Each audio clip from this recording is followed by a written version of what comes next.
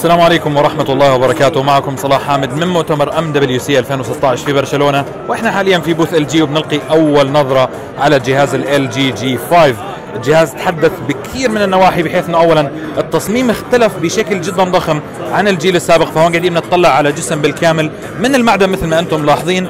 ويونو بحيث انه مثل ما أنتم ملاحظين بالكامل من الأطراف بالإضافة للخلف كله عندنا معدن. الأمر الكبير أو تغير بشكل جدا ملاحظ اللي هو موضوع الأزرار بحيث إنها الآن انتقلت إلى الجنب بطلت على الظهر مثل الأجيال السابقة.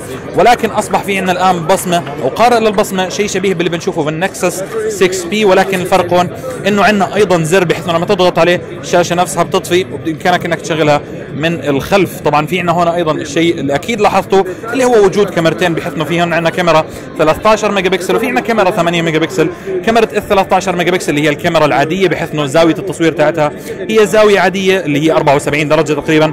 ولكن الفكرة بالعدسة الثانية اللي هي إنها عدسة عريضة بحيث إنه هون قاعدين نتكلم عن عدسة بتصور تقريبا بدرجة 135 درجة اللي هي جدا جدا عريضة. من الأمام الجهاز نفسه صغير شوي بحيث إنه هون قاعدين نطلع على شاشة بحجم 5.3 إنش Quad HD من نوع ال سي دي آي بي إس اللي هي شاشات ال جي مشهورة فيها. نوعا ما.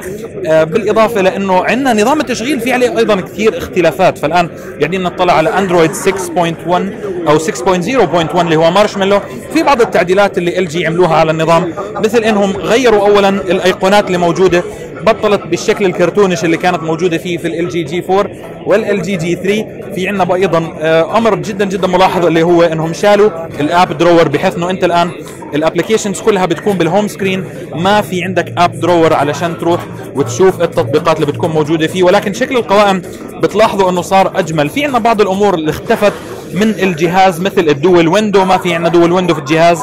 أيضا ما في عندك ال QSlide apps اختفت اللي كانت موجودة بالال جي جي 3 وأخيرا وليس اخرا بطارية الجهاز هي 2800 ملي ولكن الجميل في الموضوع أنه بإمكانك إنك تقوم باستبدالها بالإضافة لأنك تغيرها بقطع أخرى. ففي عندنا زر موجود من الأسفل لما تضغط عليه تسحب من المنتصف. الشاشه أو البطارية بالكامل بتطلع معك بالإضافة للقطعة السفلية. بإمكانك إنك تشيل البطارية من هاي القطعة. ثواني. فالبطارية صارت معك اللي هي 2800 ملي بإمكانك إنك تستبدل هاي القطعه بمجموعة من الإكسسوارات. ففي عندهم اولا ال battery grip اللي أنتم شايفينها هون اللي بتضيف بالإضافة لل 2800 1200 ملي زيادة على الجهاز أو على بطارية الجهاز. وبصير بإمكانك إنك تعمل أمور جديدة مثل إنه يكون في عندك shutter button علشان تصور مباشرة وفي زر آخر علشان تشغل الفيديو أو يبلش يسجل مباشرة. طبعا مثل ما أنتم ملاحظين عملية التركيب جدا جدا سهلة.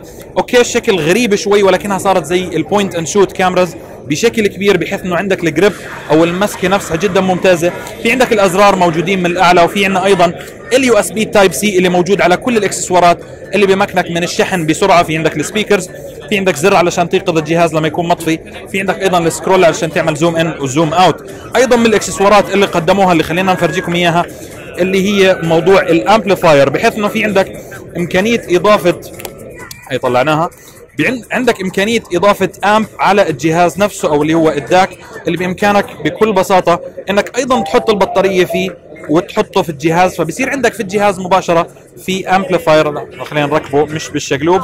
فالآن صار في عندك amplifier مشبوك على الجهاز مباشرة علشان يعطيك اللي هو true HD audio اللي بتكون 32 bit فبتكون نقاوه الصوت أفضل بكثير.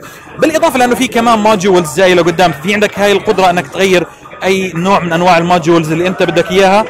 وأيضا نقدر نرجع للبطارية الأساسية أو للقطعة الأساسية اللي هي بيكون فيها ال USB Type-C بالإضافة للسماعات والميكروفون اللي بتخلي الجهاز بالشكل الطبيعي. طبعا هون الجهاز يعني حجمه okay صغر شوي ولكن البطارية way oh, okay فمثل ما أنتم شايفين يعني حتى ما بتركب بالعكس ولكن الأمور تمام. ما في عندهم أي مشاكل. والجهاز مثل ما أنتم شايفين هاي كانت أول نظرة على جهاز ال جي جي 5 من مؤتمر MWC 2016 كان معكم صلاح حامد. في أمان الله.